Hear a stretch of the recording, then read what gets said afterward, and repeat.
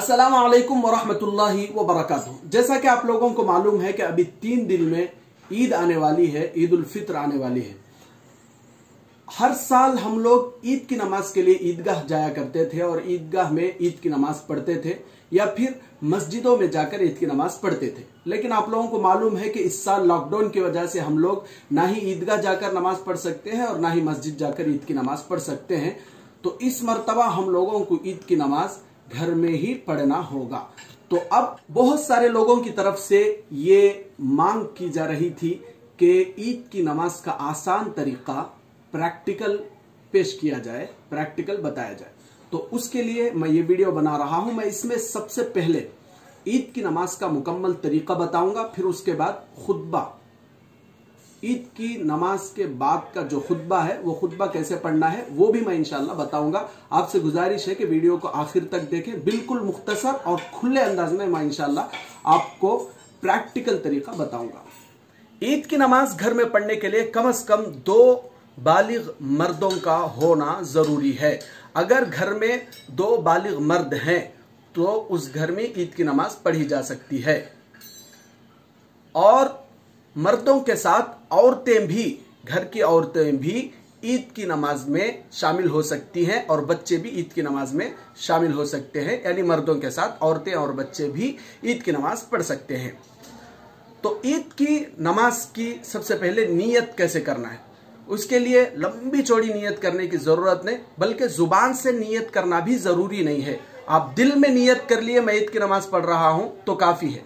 लेकिन अगर आप ज़ुबान से बोलना चाहे तो भी बोल सकते हैं मैं ईद की नमाज़ अल्लाह के वास्ते पढ़ता हूँ। इतना बोल लेना काफ़ी है। अब उसके बाद आप ईद की नमाज़ पढ़ेंगे। ईद की नमाज़ का जो प्रैक्टिकल तरीका है, वो आप देख लीजिए। ईद की नमाज़ अब हम लोग शुरू कर रहे हैं। उसका तरीका यह है कि सबसे पहले नियत के बाद, नियत हो गई। नियत के बाद अल्लाह अकबर बोलकर हाथ उठाना है, हाथ बाँध लेना है। हाथ बाँध लेने के बाद सना पढ़ना है। सुबहानक अल्लाहुम्मा व बिहम्दिका व तबारक अस्मुका व तआला जद्दुका वला इलाहा सना पढ़ने के बाद दूसरी मरतबा, अल्लाह अकबर, हाथ उठाना है, छोड़ देना है। तीसरी मरतबा, अल्लाह अकबर, हाथ उठाना है, छोड़ देना है। चौथी मरतबा, अल्लाह अकबर, हाथ उठाकर बाँध लेना है। बाँध लेने के बाद अब सूर्य फातिहा पढ़ेंगे अल्हम्दुलिल्लाहि रब्बिल आलमीन अर्रहमानिर रहीम मालिक यौमिद्दीन इय्याक नअबुदु व इय्याक नस्तईन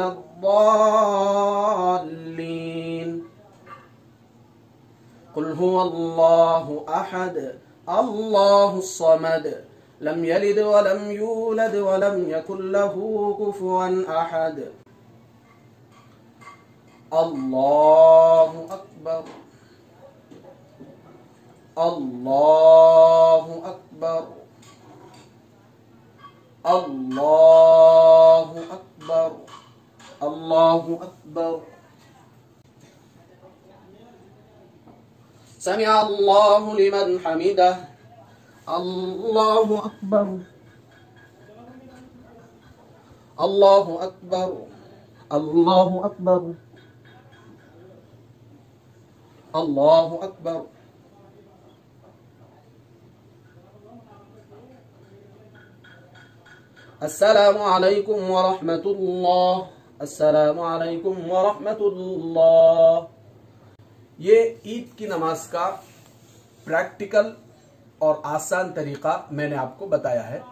अब ईद की नमाज़ हो गई। ईद की नमाज़ के बाद खुतबा पढ़ने का रहता। लेकिन ये जो खुतबा है, सुन्नत है। ज़रूरी नहीं है। अगर पढ़ लिए की नमाज़ के बाद अगर खुतबा पढ़े तो अच्छी बात है। लेकिन अगर किसी को नहीं आ रहा, इसलिए नहीं पढ़े तो भी कोई प्रॉब्लम नहीं। इसलिए कि खुतबा पढ़ना सिर्फ़ सुन्नत है। अब मैं आपको बिल्कुल मुख्तसर अंदाज में खुतबा कैसा पढ़ना है, वो मैं आपको प्रैक्टिकल बता रहा हूँ। और मैं आपको स्क्रीन पर लिख कर भी डाल दूँगा खुतबा। इंग्लिश में और तेलुगु में आप वो भी देखकर सेम कॉपी कर सकते हैं। अब आइए खुतबे का तरीका मैं आपको बताता हूँ। खड़े हो जाना है। इस तरह खड़े हो जाना है। मुसल नमाज़ पढ़ाने के बाद मुसल्ले पर ऐसा खड़े हो जाना है। खड़े होने के बाद अब खुतबा शुरू होना है। बहुत आसान और बहुत सिंपल खुतबा है। तीन मरतबा पहले, अल्लाह अकबर अल्लाह अकबर, ला अकबर, अल्लाह अकबर वलिल्लाहिल अल्लाह अकबर अल्लाह अकबर, ला अकबर, अल्लाह अकबर वलिल्लाहिल अल्लाह अकबर अल्लाह अकबर ला इलाहा इल्लल्लाह वल्लाहु अकबर अल्लाह अकबर वलिल्लाहिल हम्द तीन मरतबा तकबीर पढ़ डालना तीन मरतबा तकबीर पढ़ने के बाद अब अऊज़ु बिल्लाहि मिनश शैतानिर रजीम कुल हुवल्लाहु अहद अल्लाहु समद लम यलिद वलम यूलद वलम यकुल लहू कुफुवन अहद फिर उसके बाद आखिर में एक मरतबा तकबीर। अल्लाह अकबर अल्लाह अकबर, ला अकबर, अल्लाह अकबर, वलिल्लाहिल हम्द। बोल को, बैठ जाना, अब बैठ जाना है। यहाँ को एक खुतबा मुकम्मल हो गया, यहाँ पर एक खुतबा पूरा हो गया। अब दूसरे खुतबे के लिए दोबारा खड़े होना है।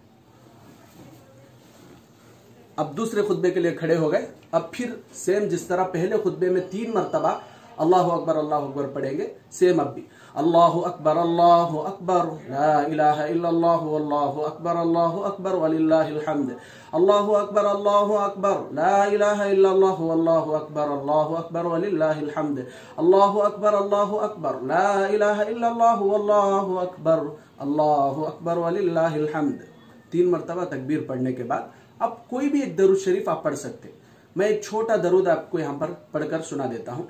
अल्लाहुम्म सल्ली अला सय्यिदिना मुहम्मद व अला आलि मुहम्मद व बारिक वसल्लिम।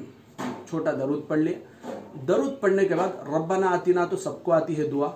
दरूद पढ़ने के बाद रब्बना आतीना फिद दुनिया हसना व फिल आखिरति हसना व क़िना अज़ाबन्नार। पढ़ लिए अब फिर आखिर में एक मरतबा तकबीर। अल्लाह अकबर अल्लाह अकबर अल्लाह अकबर अल्लाह अकबर, वलिल्लाहिल यहाँ को दो खुतबे पूरे हो गए। अब उसके बाद बैठ जाना है। बैठने के बाद दुआ मांगना है अल्लाह से। देखो, रमज़ान पूरा हम लोग रोज़े रखे, इबादत करे, बहुत सारे लोग एहतिकाफ बैठे होंगे, कुरान पढ़े होंगे।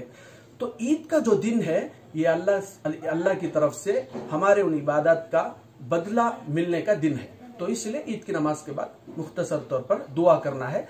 दुआ करने के बाद अब हम अपने घर वालों से हँसी खुशी से मिल सकते हैं। मिलने के बाद अपने घर वालों के साथ ईद की खुशियाँ मना सकते हैं। लेकिन खास तौर पर इस मरतबा ये बात जहन में रखें कि ईद के बाद अब चूँकि अभी भी सोशल डिस्टेंस का जो रूल है, हुकूमत की तरफ़ से वो अभी भी बाकी है तो इसलिए जहाँ तक हो सके मुसाफा, मुआनका, यानी हाथ मिलने का, गले मिलने का, अवॉइड करे तो बेहतर है। इसलिए कि ये हाथा मिलने का रहंदे गले मिलने का रहने सिर्फ़ सुन्नत है। तो ये मिलना बोल को क्या भी नहीं है। अलबत्ता कौन तो भी मुसलमान भाई दिखा तो उसे सलाम करो, सलाम करने के बाद ईद की मुबारकबाद दे सकते हैं। और ये दुआ साहबा पढ़ते थे। रमज़ान ईद के बाद अगर कौन तो मिलते थे तो साहबा ये दुआ पढ़ते थे तकबल अल्लाह मिन्ना व मिनकुम। इसका मतलब क्या होता करता अल्लाह हमारे तुम्हारे कितने इबादत रमज़ान में हुई कि वो पूरा कबूल करेंगे बोल। को ये दुआ है। तो अगर कोई ये दुआ पढ़ना चाहे तो पढ़ सकते हैं। इतना कर लेना काफ़ी है। हाथा मिलना गले मिलना बोल को क्या भी ज़रूरी है। उम्मीद करता हूँ कि ये पूरी वीडियो से आपको ईद की नमाज़ का मुकम्मल तरीका समझ में आ गया होगा। अगर आपको कुछ भी डाउट है तो आप कमेंट बॉक्स में लिखकर अपना सवाल कर सकते हैं। मैं इंशाल्लाह उसका जवाब दे दूँगा। जजाकम्ला खैर। असलकम वरहमल